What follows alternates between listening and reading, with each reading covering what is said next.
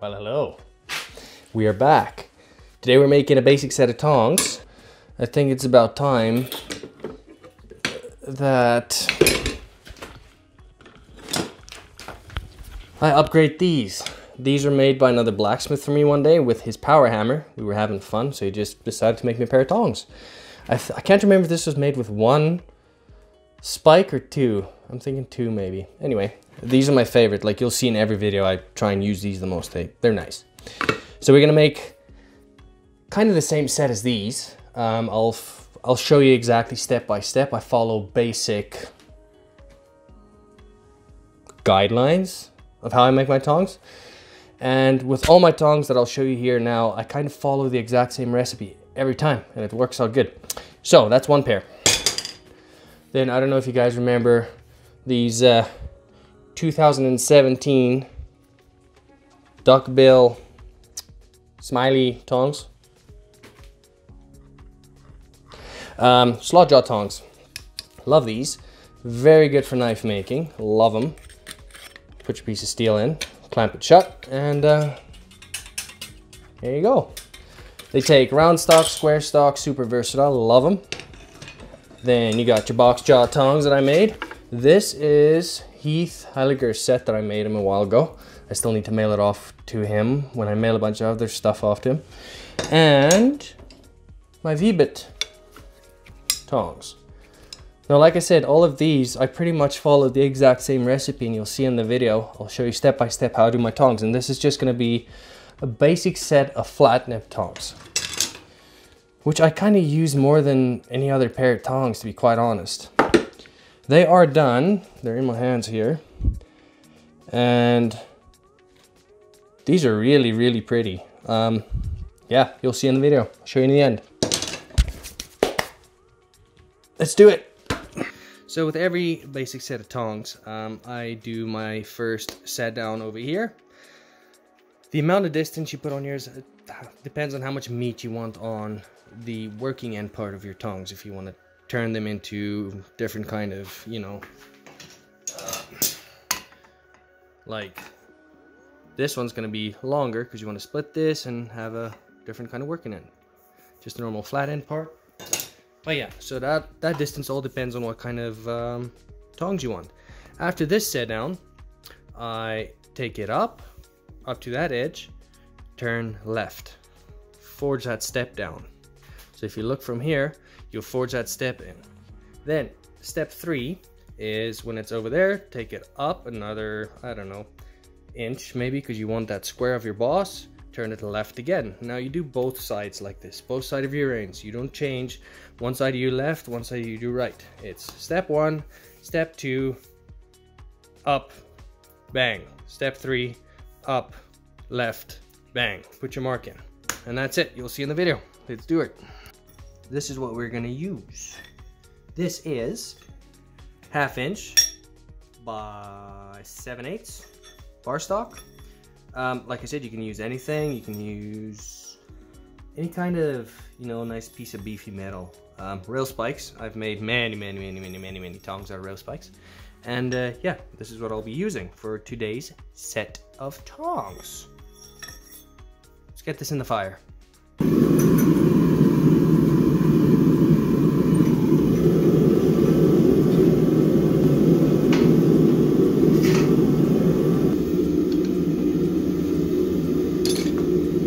It's around two inches or an inch and a half in. Put a step in.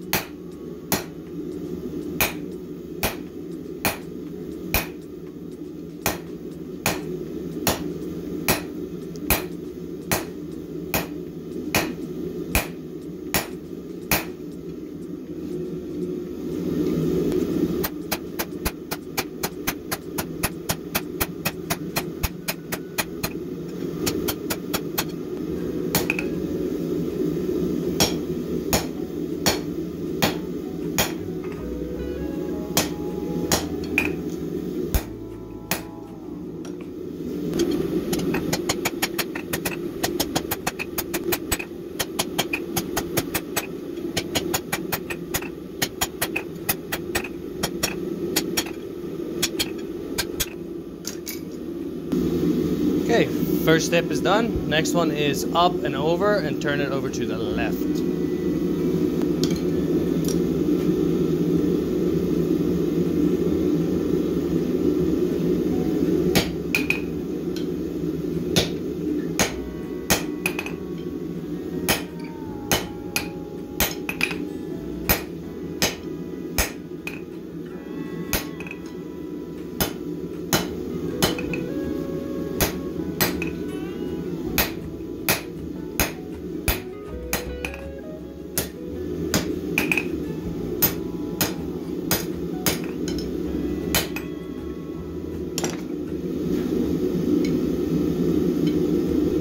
Okay, then again, up, over, and to the left. So step one, step two, turn left, step three, up about a, a square. Because that's going to be a boss area, this right here.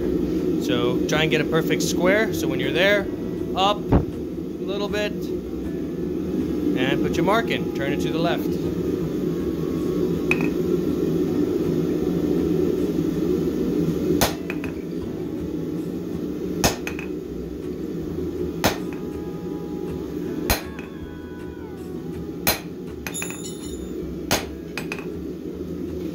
There's the start of your boss.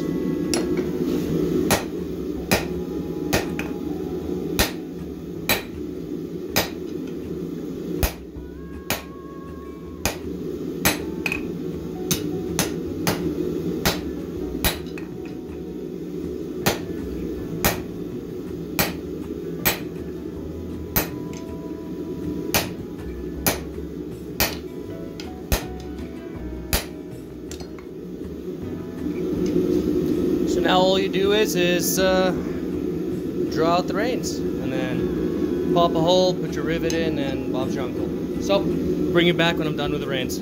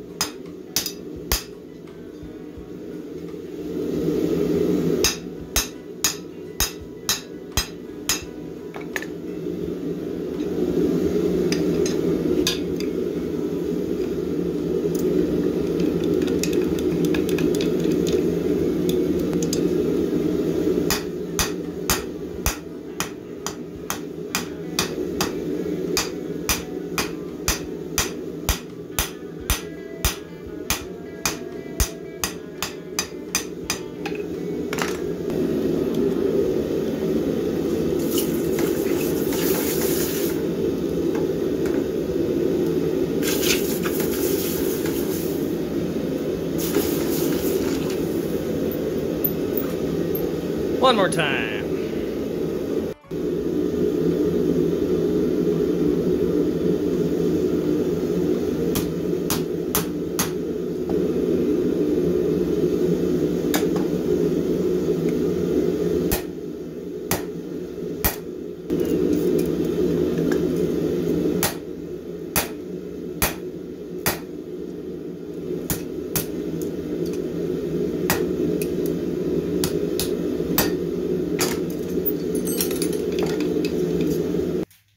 And here they are. Clean, nice and straight, beauty. Kind of blackened these up a little bit. They are very nice. I have uh, actually used them a bunch today that I did not record because that's for a different video. They open up really easy. They just fall open. And uh, yeah, there you go. Basic set of flat nib tongs. Hope you guys enjoyed this video. And um, I'll catch you guys on the next one. See ya.